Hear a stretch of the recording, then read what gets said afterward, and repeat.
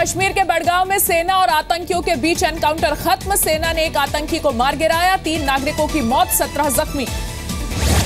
सेना ने आतंकी के ठिकाने को उड़ाया, इसी घर में छिपा हुआ था आतंकी। हमले के बाद आतंकी ढेर। बड़गांव एनकाउंटर के दौरान तीन नागरिकों की मौत के विरोध में अलगाववादियों ने बुलाया बंद। शुक्रवार की नमाज़ के बाद शांतिपूर्ण प्रदर्शन का भी ऐलान। जम्मू कश्मीर के बड़गांव में एनकाउंटर के दौरान सुरक्षा बलों पर पत्थरबाजी। फायरिंग में दो की मौत 20 लोग घायल। पीडीपी के मंत्री एबी रहमान पर भी पत्थरबाजी। चुनाव प्रचार के लिए गए थे मंत्री। जम्मू कश्मीर के शोपिया में पुलिस कर्मियों के घर पर आतंकी हमला। हमले में कोई हताहत नहीं हुआ। कार को जलाने की कोशिश की गई। बड़गांव एनकाउंटर पर सीएम महबूबा मुफ्ती ने कहा, युवाओं को आतंक से जुड़ते हुए देखना दुर्भाग्यपूर्ण है। नेशनल पैंथर्स पार्टी ने महबूबा सरकार को बताया, जिम्मेदार कहा दिन ब दिन खराब हो रहे हैं कश्मीर के हालात। गृह राज्य मंत्री हंसराज अहीर ने कहा, पत्थरबाजों के पीछे पाकिस्तान का हाथ, पत्थरबाजों को करारा जवाब देगी सरकार। पंजाब के कपूरथला में खेतों में मिला पाकिस्तानी सिक्के, नक्शा और गुब्बारे, इलाके का दौरा करके जाँच में जुटे ऑफिसर्स। जम्मू कश्मीर के लद्दाख में इकहत्तर पर्यटकों को सेना ने बचाया, हिमस्खलन में फंस गए थे ये टूरिस्ट। आतंकी संगठन आईएसआई से जुड़े 19 मामले आए सामने, एनआईए ने दर्ज किए केस, सरकार ने लोकसभा में दी जानकारी। अयोध्या को लेकर बीजेपी सांसद विनय कटियाल का बड़ा बयान, कहा, बाबर के नाम पर नहीं बननी चाहिए मस्जिद, सरयू नदी के पार बने मस्जिद। यूपी में राम गोविंद चौधरी को नेता विपक्ष बनाने के तरीके पर उठे सवाल, राज्यपाल राम नायक ने नवगठित विधानसभा को लिखी चिट्ठी, स्पीकर को ही नेता प्रतिपक्ष चुनने का अधिकार। यूपी में मीट कारोबारियों की हड़ताल का दूसरा दिन, बंद रही दुकानें, सरकार के फैसले पर विरोध जताया गया। लखनऊ में हेल्थ मिनिस्टर के साथ मीट कारोबारियों की मीटिंग अवैध बूचड़खानों पर एक्शन के विरोध में बैठक।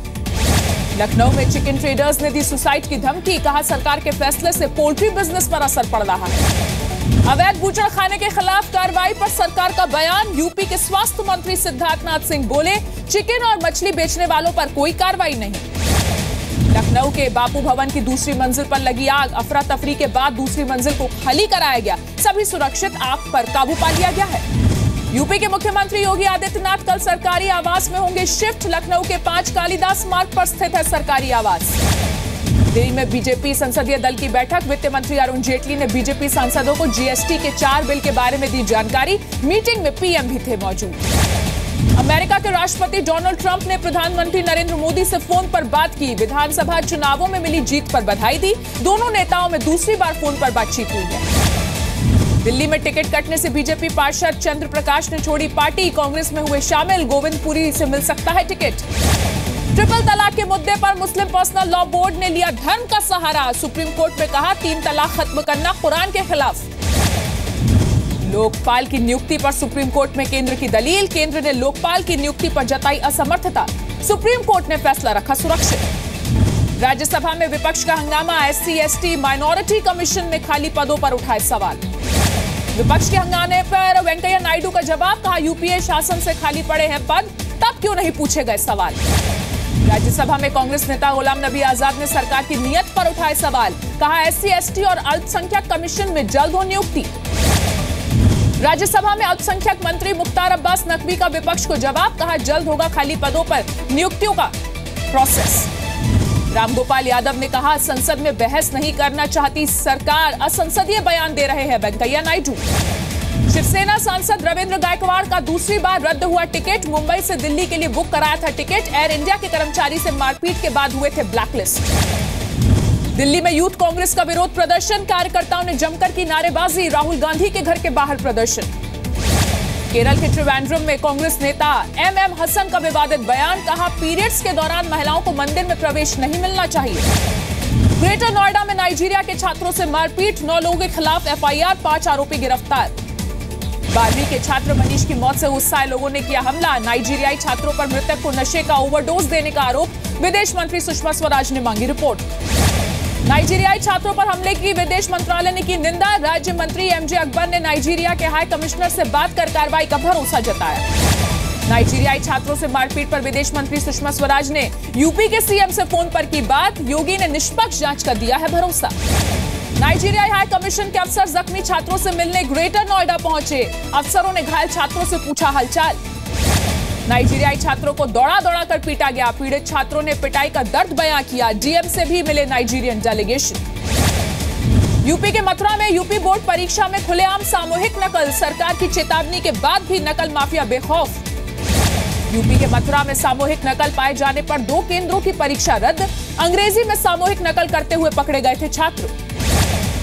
यूपी के कानपुर में भी यूपी बोर्ड परीक्षा में नकल, ड्यूटी पर तैनात टीचर नकल कराते दिखे। यूपी के डिप्टी सीएम दिनेश शर्मा ने कहा नकल रोकने की पूरी कोशिश की जा रही है 30 एग्ज़ाम सेंटर्स रद्द जल्द बनेगा कंट्रोल रूम यूपी के संत कबीर नगर में बड़ी साजिश खलीलाबाद रेलवे स्टेशन के पास बम धमाका कबाड़ बिन, बिन रहे युवक के हाथ में फटा बम। नोएडा में ओप्पो कंपनी के ऑफ़िस में तिरंगे के अपमान का आरोप नाराज़ कर्मचारियों ने किया प्रदर्शन आरोपियों के खिलाफ कार्रवाई की मांग।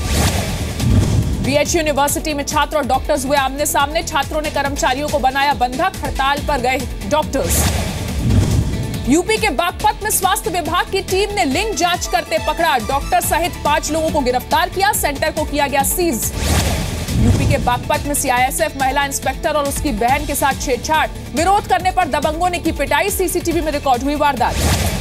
बिजनौर में नाबालिग लड़की से रेप, पुलिस ने आरोपी को किया गिरफ़्तार। यूपी के बुलंदशहर में एक डॉक्टर ने अपनी ही पत्नी का ब्लेड से गला काटकर की हत्या, पुलिस के हत्या चढ़ा हत्यारा पति। यूपी के मैनपुरी में बदमाशों ने ट्रक में की लूटपाट, ड्राइवर की हत्या करके फरार, आरोपियों की तलाश में जुटी पुलिस। यूपी के संभल में बिजली के करंट से दो महिलाओं की मौत गाँव वालों ने बिजली कर्मचारियों के खिलाफ कार्रवाई की उठाई मांग। हरियाणा में रोहतक कोर्ट के बाहर firing, history sheeter Ramesh Lohar पर बदमाशों ने किया हमला, फायरिंग में रमेश लोहार की मौत। रोहतक में कोर्ट के बाहर गोलीबारी में एक वकील समेत छह लोग हुए घायल। महिलाओं के कपड़े पहनकर आए थे हमलावर।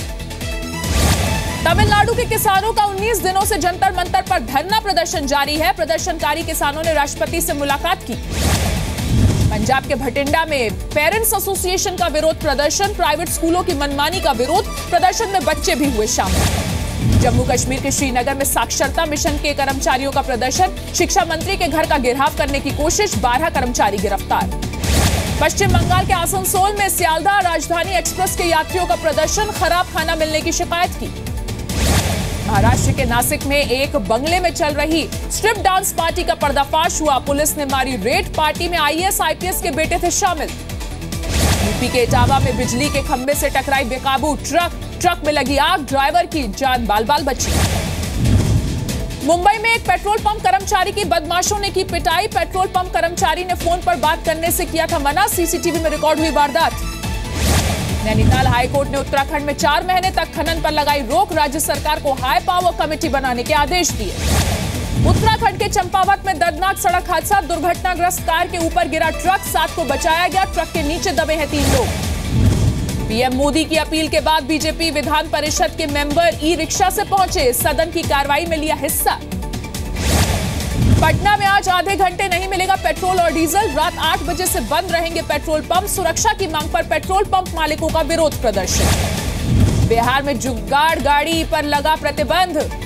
सड़क पर उतरे जुगाड़ मालिक। मुंगेर में रोड परमिट की मांग पर प्रदर्शन। जयपुर में कॉफ़ी शॉप में कॉकरोच का वीडियो बनाने पर थप्पड़, शिकायत करने पर महिला कर्मचारी ने जड़ा तमाचा। राजस्थान के जोधपुर में पेड़ काटे जाने का विरोध करने पर महिला को दबंगों ने ज़िंदा जलाया। मौके पर हुई महिला की मौत। राजस्थान के जोधपुर में तीन तलाक के विरोध में मुस्लिम लड़की ने रचाई हिंदू लड़के से शादी। हिंदू रीति रिवाज से हुई ये शादी। ग्वालियर में छेड़छाड़ का विरोध करने पर मंचलों ने छात्रा पर किया ब्लेड से हमला। गंभीर हालत में छात्रा को अस्पताल में कराया गया भर्ती। आरोपियों की तलाश में जुटी पुलिस। कर्नाटक के मंगलुरु में कांस्टेबल ने चौथी मंजिल से लगाई छलांग। कोर्ट में पेशी के लिए लाया गया था कांस्टेबल को। पॉक्सो एक्ट में पुलिस ने किया था गिरफ़्तार। हरियाणा के झज्जर में एमबीए छात्रा शिवानी महेश्वरी ने दी आधुनिक खेती से बंपर कमाई की सीख। हरियाणा सरकार ने फूल रत्न अवार्ड से नवाजा। हिंदू नववर्ष की आज से हुई शुरुआत देश भर में मनाया जा रहा है नवरात्र का त्योहार। महाराष्ट्र में गुड़ी पड़वा की धूम, मुंबई में जिन्ना हाउस के बाहर भी मनाया गया इस त्योहार को। चीन के गासू में पहाड़ की चोटी पर फंसे बच्चे का रेस्क्यू ऑपरेशन खेलते खेलते नीचे गिरकर फंस गया था बच्चा। इराक के शहर मोसुल में अब तक 300 नागरिकों की हत्या। इराकी सेना की कार्रवाई के दौरान आईएसआईएस ने बेगुनाह नागरिकों की हत्या की। उन्नीस में पेरिस हमले के आरोपी कार्लोस द जैकल को उम्र कैद पेरिस हमले सहित कई जगहों पर ब्लास्ट कराने का है दोषी। दाल किसानों को मिलेगी राहत। 30 अप्रैल तक डेढ़ लाख टन दाल खरीद सकती है सरकार। कंज्यूमर अफेयर्स मंत्रालय की मांग। किसानों को राहत देने के लिए सरकार का कदम। गेहूँ और तुअर दाल पर लगाई 10 परसेंट इम्पोर्ट ड्यूटी एमएसपी से भी नीचे चले गए हैं दालों के दाम। बाज़ार में दिखी अच्छी खरीदारी, निफ्टी 9100 के पास, सेंसेक्स एक सौ बहत्तर और निफ्टी छप्पन अंक चढ़कर बंद। डेक्कन क्रॉनिकल होल्डिंग्स की दो करोड़ की संपत्ति जब्त, बैंक फ्रॉड मामले में ईडी ने की कार्रवाई। धर्मशाला टेस्ट में जीतकर भारत ने फिर किया बॉर्डर गावस्कर, ट्रॉफी पर कब्जा, आठ विकेट से ऑस्ट्रेलिया को हराया, दो एक से जीती सीरीज़। टीम इंडिया से ने बनाया लगातार सात टेस्ट सीरीज़ जीतने का रिकॉर्ड। अगस्त 2015 से सिर्फ़ दो मैच में हार मिली है, सत्रह मैच में मिल चुकी है जीत। इस सीरीज़ जीत के साथ टीम इंडिया ने बनाया एक अनोखा रिकॉर्ड। टेस्ट खेलने वाले हर देश के साथ सीरीज़ जीत चुका है भारत। नंबर एक की रैंकिंग पर खत्म किया टीम इंडिया ने। आईसीसी की तरफ़ से मिला टेस्ट। मैच और साथ ही छह करोड़ पचास लाख की इनामी राशि के भी हकदार बने। आर अश्वत ने जीते दो आईसीसी अवार्ड साल 2016 का ICC test cricketer of the year और क्रिकेटर ऑफ़ द ईयर चुने जाने पर मिली गाफिल सोबोर्स ट्रॉफी ऑस्ट्रेलिया को हराने वाली टीम इंडिया के खिलाड़ियों को मिलेंगे 50-50 लाख रुपए, कोच कुंबले को मिलेंगे 25 लाख रुपए बीसीसीआई ने की घोषणा। ऑलराउंडर रविंद्र जडेजा चुने गए मैन ऑफ़ द मैच और मैन ऑफ़ द सीरीज़ चार टेस्ट में लिए 25 विकेट और बनाए 127 रन। अजिंक्य रहाणे के नाम भी जुड़ा अनोखा रिकॉर्ड। पहली ही कप्तानी में टीम को दिलाई जीत। कहा, मैं नई भूमिका से खुश हूँ। ऑस्ट्रेलिया के कप्तान ने सीरीज़ में कई बार आपा खोने और गाली देने पर मांगी माफ़ी। कहा गुस्से में अपनी भावनाओं पर काबू नहीं रख पाया। ऑस्ट्रेलिया से सीरीज़ जीत को कप्तान कोहली ने बताया चुनौती की शुरुआत। कहा, जब विदेश में जीतेंगे सीरीज़ तो होगी ज़्यादा खुशी। स्लेजिंग पर विराट कोहली ने कहा, इस सीरीज़ के बाद ऑस्ट्रेलियन टीम में नहीं, बचेगा कोई भी दोस्त। बीजेपी संसदीय दल की बैठक में फुटबॉल लेकर पहुँचे खेल मंत्री विजय गोयल। भारत में इसी साल होने वाले फीफा अंडर 17 वर्ल्ड कप को प्रमोट करने के लिए अपने साथ लाए थे फुटबॉल। उज्बेकिस्तान के खिलाफ डेविस कप मुकाबले के लिए रिज़र्व कैटेगरी में लियांज पेस और रोहन बोपन्ना टीम के कप्तान महेश भूपति ने सिलेक्शन कमेटी के साथ मिलकर किया बडोदरा कोर्ट ने शाहरुख खान को भेजा समन। फ़िल्म रईस के प्रमोशन के दौरान हुई थी एक फ़ैन की मौत। अर्जुन कपूर और श्रद्धा कपूर की फ़िल्म हाफ़ गर्लफ्रेंड का फ़र्स्ट लुक रिलीज़ बारिश में रोमांस करते नज़र आ रहे हैं श्रद्धा अर्जुन। अक्षय कुमार की टॉयलेट एक प्रेम कथा से टकराएगी शाहरुख खान की।